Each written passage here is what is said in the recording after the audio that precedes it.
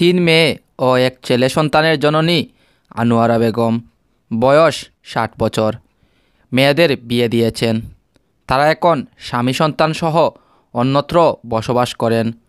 একমাত্র বুদ্ধি প্রতিবন্ধী ছেলেকে নিয়ে আনোয়ারা বেগমের বসবাস।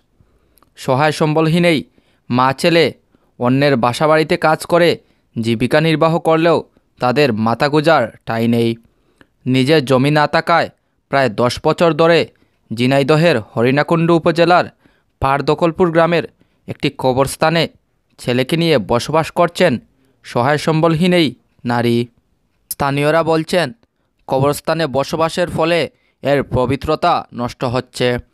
কিন্তু মানবিক কারণে অসহায় মা ছেলে বসবাস করলেও তাদেরকে সেখান থেকে সরানো হচ্ছে না। অসহায় ওই মা ছেলেকে দ্রুত পুনর্বাসনের জন্য জনপ্রতিনিধি ও প্রশাসনের সুদৃষ্টি কামনা করেছেন তারা। আনোয়ারা বেগম বলেন, ধর্মীয় বিধান বহির্ভূত হলেও উপায় না থাকায় সেখানে বসবাস করছেন।